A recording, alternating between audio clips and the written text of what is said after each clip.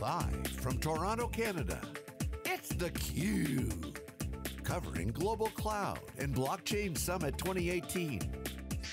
Brought to you by theCUBE. Hello everyone, welcome back to theCUBE's live coverage here in Toronto for the first Global Cloud and Blockchain Summit in conjunction with the Blockchain Futurist event happening this week in Toronto. I'm John Furrier, my co-host Dave Vellante. We're here with CUBE alumni, Bradley Rotter, pioneer blockchain investor, um, seasoned was there in the early days as an investor in hedge funds, continuing to understand the impacts of cryptocurrency and its impact for investors and long on many of the, of the crypto. Made some great predictions on theCUBE last time at Polycon in the Bahamas. Bradley, great to see you, welcome back. Thank you. Good Great to see have you. you. Thanks for coming on. So let's get, I want to just get this out there because it's interesting, you have an interesting background, you're on the cutting edge and the front lines, but you also have a history, you were early before the hedge fund craze as the pioneer then. Yeah. Talk about that and then how it connects to today. So you see some similarities, talk about that. I actually had begun trading commodity futures contracts when I was 15. I grew up on a farm in Iowa, which is a small state in the Midwest, I've heard of it. and I was in charge of Was it a test market? I was in charge of hedging our one corn contract, so I learned learned the mechanisms of the market. Um, it was uh, it was great experience. I, I traded commodities all the way through uh, college. I, I got to go to West Point as undergrad, and I raced back to Chicago as soon as I could to go to the University of Chicago because that's where commodities were traded. So I'd go to night school at night at the University of Chicago and listen to Nobel laureates talk about the efficient market theory, and during the day, I was trading on the floor of the, of the Chicago Board of Trade and the Chicago Mercantile Exchange.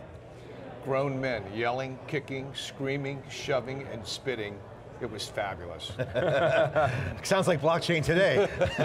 so talk about the dynamics. Obviously you've seen the, re- the evolution certainly of capital formation, capital deployment, efficiency, liquidity, all those things that are happening. How does that connect today? How do you, what's your vision of today's market? Obviously lost $30 billion in value the past 24 hours as of today.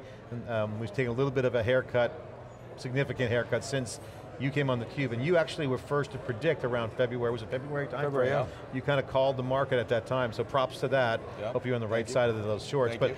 so what? But what's going on? What is happening in the capital markets? Liquidity? Why are the prices dropping? What's the shift uh, to? What's the? What's your? What's your? So take? just to recap, at the time in February you said, look, I'm a short-term bear on Bitcoin and maybe other crypto because all the money that's been made, the, the people who made it didn't think they had to pay taxes. And now they're realizing, and you were right on, it, you said up, and, up through sort of tax season, it's going to be soft and then it's going to come back. And it's exactly what happened. Yeah. And now it's flipped again. So your thoughts? So my epiphany was I woke up in the middle of the night and, and said, oh my God, I've been to this rodeo before.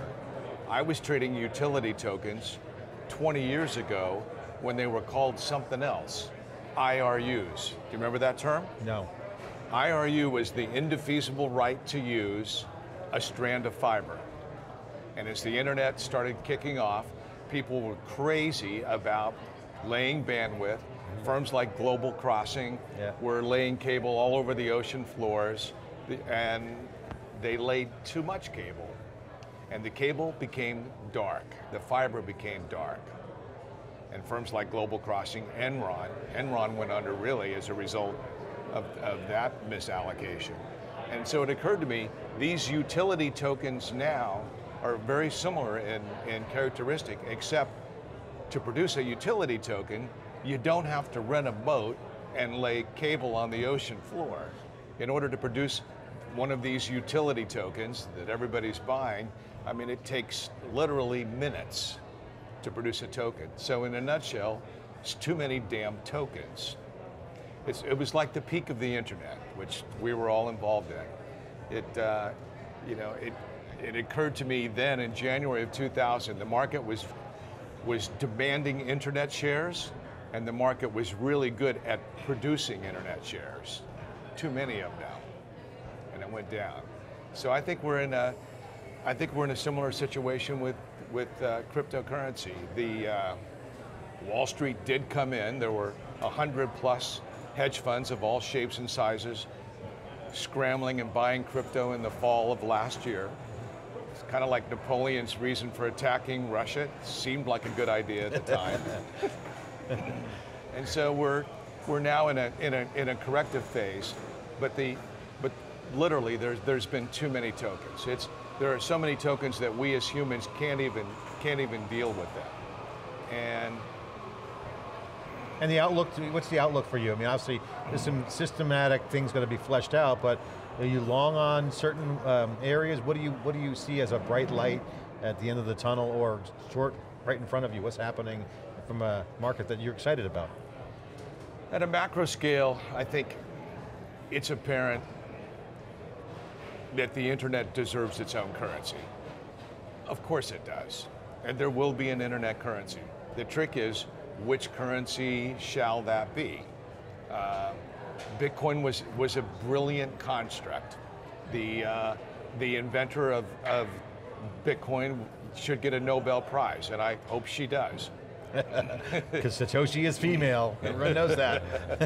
I got that from you, actually.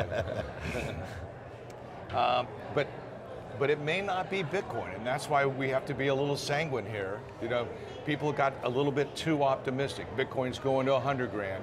No, it's going to 500 grand. I mean, those are all, all red flags based on, on my experience of trading on the floor and investing in hedge funds. Um, Bitcoin, I think, I'm disappointed in Bitcoin's adoption. You know, it's still, it's still very difficult to use Bitcoin, and, and I was hoping by now that that would be a, a, a different scenario, but it really isn't. Uh, very few people use Bitcoin in their daily lives. I do. I've been, I've been paying my son his allowance for years in Bitcoin. Son of a bitch is rich now. Damn. So on, on terms of like the long game, you're seeing the developers um, adopted Ethereum. That was classic, the, decentralized applications. We're here at a cloud blockchain kind of convergence conference where developers matter on the cloud. Yep. You saw great developer stakeholders with Amazon Cloud Native. Certainly there's a lot of developers trying to make things easier, faster, smarter uh, with crypto. Yep. So, but at the same time, there's also, it's hard for developers. You're hearing things like EOS coming on, trying to get developers. So there's a race for developer adoption. This is a major factor in some of the success and price drops too. Your thoughts on you know, the impact, has that changed anything? I mean, it's, I think Ethereum's it's, at its lowest it's been all year. Yeah. Well, th that was that was fairly predictable, and I've talked about that in, in a number of talks I've given. There's only one thing that all of these ICOs have had in common they're long Ethereum. They own Ethereum. And many of those projects, even uh, the, the few ICO projects that I've selectively been advising, I beg them to, to, once they raise their money in Ethereum, is to convert it into cash. I said, you're not in the Ethereum business. You're in whatever business that you're in. Many of them hoarded onto that stake, again, caught up in the in the excitement about the, the, yeah. the, potential price appreciation, but they lost they lost track of what business they were really in. They were speculating in Ethereum. Mm-hmm. Yeah. I said they might as well have been speculating in Apple stock. They could have done better. Yeah, than much, Ethereum. Much better. So, so too much supply. Too many damn tokens, and they're easy to make. That's the issue. Yeah, and, and, and you've got lots of people making them. When uh, one of the first guys I met in this space was Vitalik Buterin. He was 18 at the time. And I remember meeting him, I thought, he's one of the smartest guys I've ever met. It was a really fun meeting. I remember when I, uh, when the meeting ended and I walked away, I was about 35 feet away and he linked in with me, which I thought was cute. That's awesome. Talk about what you're investing but now, in. there's probably a thousand Vitalik Buterins in the space. Many yeah. of them are, are yeah. at this conference. And a lot and of people so, have, have plans. Super smart, great ideas, and boom, token. And they're producing new tokens. They're all better, improved. They're, they're borrowing the best attributes of each, but we've got too many damn tokens. It's hard for us humans to, to be able to, to keep track of that. It's so, almost it's almost like requiring a, a complicated new browser download for every website you went to just we just can't do that. Is yeah, the analog yeah. is the analog? You remember the dot com days? You referred to that earlier. There was quality, and the quality lasted, sustained. You know, the Amazons, the eBays, the PayPal's, et cetera. Uh, are there analogs in, in this market, in your view? Can you sniff out the sort of quality? Uh, I, there, are, there are definitely analogs, I think, but I, I think, I think one of the greatest metrics that uh, that we can we can look at is is that utility token being utilized? Not many of them are being utilized. I was giving a talk last month, 350 people in the audience, and I said, "Show of hands, how many people have used a utility token this year?" One hand went up. I go, Ethereum? Ethereum. The, will we be using utility tokens in the future? Of course we will, but it's going to have to get a whole lot easier Yeah. for us humans to, to be able to deal with them, understand them, and not lose them. That's the big issue. This is, this is just as much a cybersecurity play as it is a digital currency play. People haven't really. Elaborate on that, that thought. Why is Well- security, cybersecurity playing? I've had a, I've had a, a an extensive background in cybersecurity. Um, as a, as an investor, my mantra since 9/11 has been to invest in catalyzed companies that impact the security of the homeland. Wide variety of security plays, but primarily cybersecurity. It occurred to me that uh, the most valuable data in the world used to be in the Pentagon. That's no longer the case. Two reasons, basically. One, the data's already been stolen. Not funny. Two, if you steal the plans for the next generation F 39 Joint Strike Force fighter, good for you. There's only two buyers. the most valuable data in the world today, as we sit here, is a Bitcoin private key. And they're coming for them prominent Bitcoin holders Yeah. are being hunted, Yeah. kidnapped, extorted. I mean, it's, it's a rather extraordinary thing. So the cybersecurity aspect, if, we're, if all of our assets are going to be digitized, you better damn well keep those keys secure. And so that's why I've been focused on the cybersecurity aspect. Rivetz, one of the ICOs that I invested in, uh, is, is developing software that turns on the power of the hardware TPM, trusted execution environment that's already on your phone. It's a place to hold keys in hardware. So that becomes fundamentally important in, in holding your keys. I mean, certainly we've heard stories about kidnapping that private key. I mean, still, how do you protect that? That's a good question. That's a really interesting question. Is it a consensus? Do you have multiple people involved? You get beaten up until you hand over your private key. It's been happening. What about happening. what about um, the security token versus utility tokens? A lot of tokens now, so there's yeah too many tokens on the utility side, but now there's a surge towards security tokens. And um, Greg um, Bettinger wrote this morning that the market has changed over, and the in investor side is looking more and more like traditional in uh, structures and companies raising money. So security token has been a, um, I think, relief for some people in the U.S. for sure around investing in structures they understand. Um, is that a real dynamic, or is that going to sustain itself? How do you see security tokens? And we heard in the panel this morning, you were in there, where they were predicting the, the future of the valuation of security tokens by the end of the year, doubling, you know, tripling, Yeah. whatever it was. But what are your thoughts? I think security tokens are going to be the next the next big thing. They have so many advantages to what we now regard as share certificates. Um, my my most exciting project is, that I'm uh, heavily involved in is is a project called the Entanglement Institute that's going to in the process of issuing security infrastructure tokens. So our idea is a public-private partnership with the US government to build the first mega quantum computing center in Newport, Rhode Island.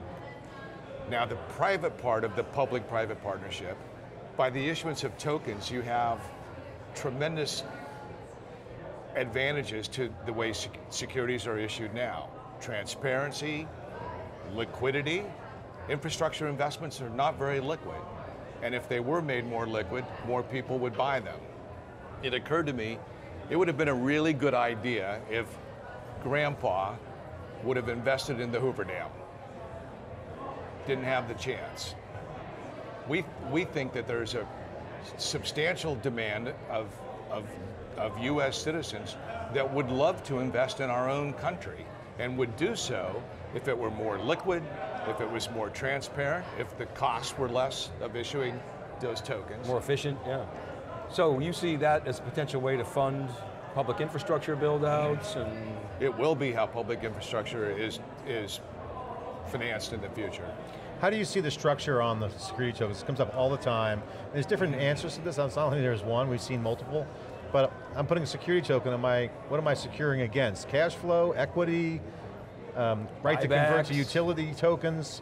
So we're starting to see a variety of mechanisms, because you have to have, give the investor a security Yeah, so security as an investor, what do you look for? Well, I think, I think it's almost limitless of what these smart securities, you know, can be capable of. For example, uh, one of one of the things that we're that we're talking with various parts of the government is is is think, thinking about the tax credit, uh, the tax credit that have been talked about at the, the Trump administration.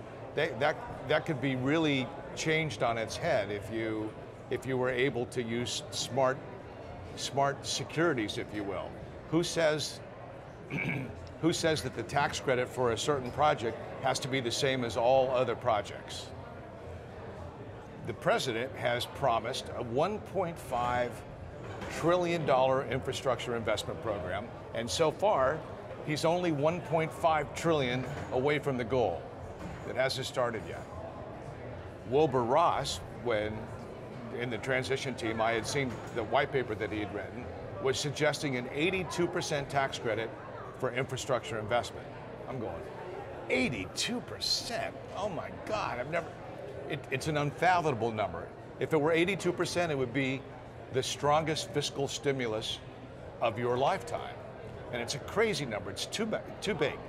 Then I started thinking about it maybe an 82% tax credit is warranted for a critical infrastructure as important as quantum computing Yep. or Cybersecurity. cybersecurity. Yep. Exact, very good point.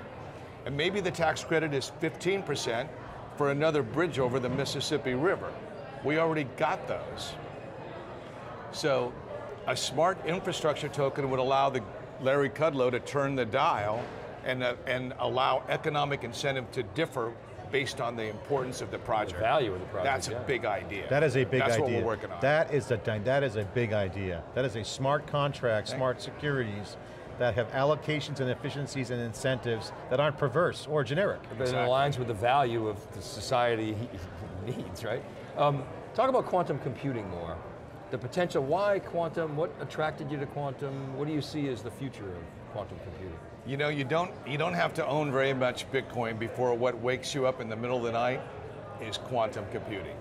It's a hundred million times faster than computing as we know as we know today. Uh, the reason the reason that I'm involved in this project, I believe it's a matter of national security that we that we form a national initiative to to gain quantum supremacy, or I call it data supremacy. And, and right now we're, we're lagging. The, the Chinese have, have focused on this uh, acutely and, are, and are, are actually ahead, I believe, of the United States.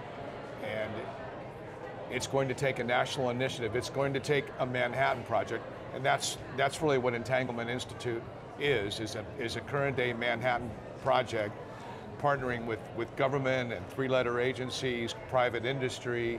We we have to we have to hunt as a pack, and and focus on this, or we're we're going to be left behind. And that's where that's based out of. It's, uh, Newport, Rhode Island.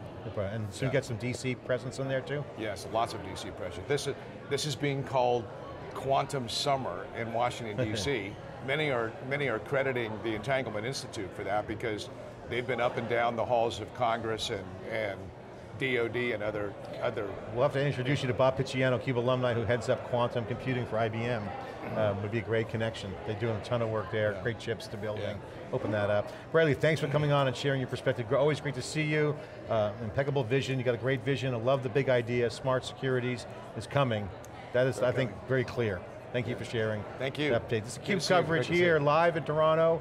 The Cube. I'm John Furrier, Dave Vellante, more live coverage. Day one of three days of wall-to-wall -wall coverage of the Blockchain Futurist Conference. This is the first Global Cloud Blockchain Summit here kicking off the whole week. Stay with us for more after this short break.